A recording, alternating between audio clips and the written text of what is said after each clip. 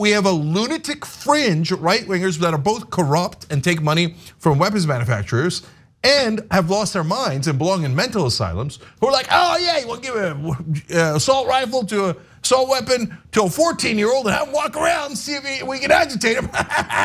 and they think that's normal. No, you belong in an asylum.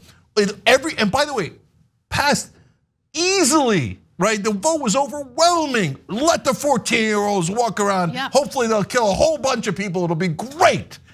Idiots in Missouri, total morons. Every Republican that voted for that is a monster. Well, voted against it voted because against the proposal it, yes. was to ban minors from open carry in the state of Missouri.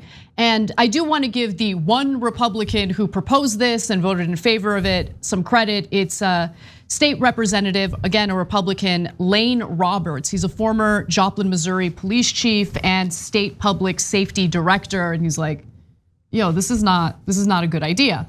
Now, I also want to read a quote from another Republican lawmaker who does not deserve credit and should be shamed at the idiotic statement he made.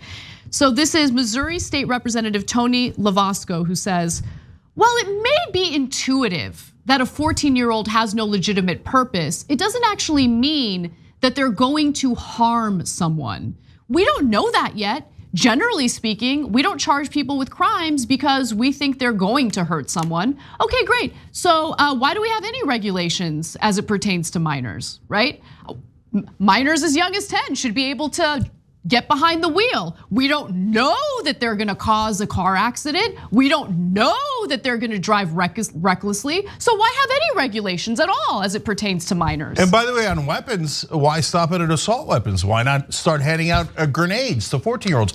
By the way, Republicans in Congress, there's a one lunatic who from Florida who did start handing out grenades. He's like, no, no, no, they're inert. They probably won't explode. And uh, luckily, he gave it to inert. fellow. Okay. I know exactly.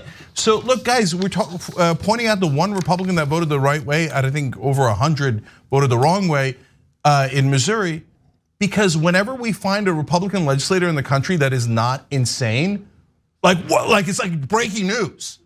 We found one Republican in Missouri that is not a lunatic. Breaking news, breaking news. And by the way, why? Because he's a former police chief. He's like, are you serious? And you know who's complaining about this rule? The cops. Cops are like, you're gonna send us out there yep. with heavily armed teenagers yep. that can just roam around. Are you guys nuts? Is this is this helping the cops? Does this look like you're in favor of the thin blue line? I don't know anything that endangers cops more than this. How are you gonna disarm these kids? okay? And by the way, of course, they had to sprinkle in racism, right? They're like, oh yeah, we should be able to carry guns around in white areas and stuff. But for the black areas, they wanted to have an extra prosecutor. So they're like, now remember, we're supposed to let all the white folks go, okay? But for the black areas, if you see him, you know what to do, extra prosecutor. Jesus Christ.